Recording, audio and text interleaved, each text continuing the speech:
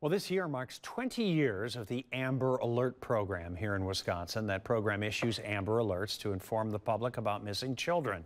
State Attorney General Josh Kaul says the program has evolved over time to be more effective with new technology.